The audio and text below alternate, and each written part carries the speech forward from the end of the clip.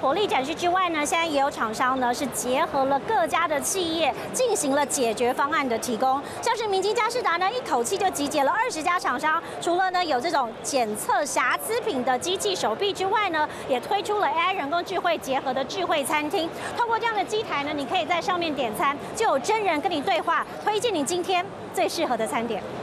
芝麻醇椒麻香，一口接一口，让你爱不释手。快来点餐吧！你知道最近风靡日韩明星来台必吃的是什么吗？来碗必比登推荐的双月爱恨交织面，芝麻醇椒麻香，一口接一口，让你爱不释手。快来点餐吧！Would you like to eat? Let me recommend some delicious food for you. I want some chicken soup. 我们不是只是去做这个 AI 的产品，AI 最大的是说最后要用在哪里，要产生什么样的这个呃冲击或贡献，哦，这个才是 AI 真正想要。那这个讲个比较白话文嘛哈，就是说我们今天比如说像这个一般的商店里头或餐厅里头，现在最大问题是什么？找不到服务人员。那找不到服务人员，你餐厅就很难开啊。或高尔夫球场，他找不到杆地啊，所以他就没办法提供这个服务给客人。所以人是一个最大的问题。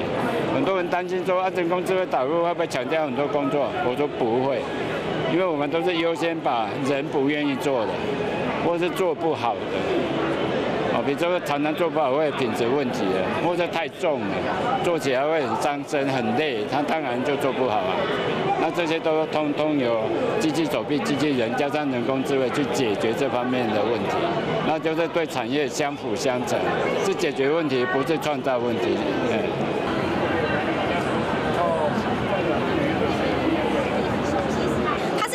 检测嘛，可是其实那个金属看起来都很类似，肉眼也很难分辨。机器要怎么做到瑕疵检测比人类更高端的，然后误差又很小？嗯，它主要的话，它因为它里面还会有一个检测盒，里面有透过光源啊，然后会它会抓取这些影像的部分，它会符合它说去瑕疵检测这样子，那它就会判断说有分别说那那个光源的差差别，然后去检测说凹陷那些的部分，这样子去回传资料，那它就会做辨识。四十多个年头，Computex Taipei 再度以全新的风貌展现在全世界的眼前。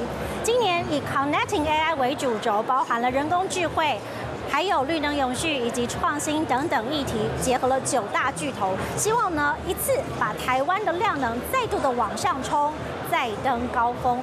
以上是刘司令潘玉泉在台北的采访报道。Hello，我是林纯佩。想要掌握最及时的新闻资讯或是体坛动态吗？赶快按赞、订阅、开启小铃铛，锁定华视新闻的 YouTube 频道。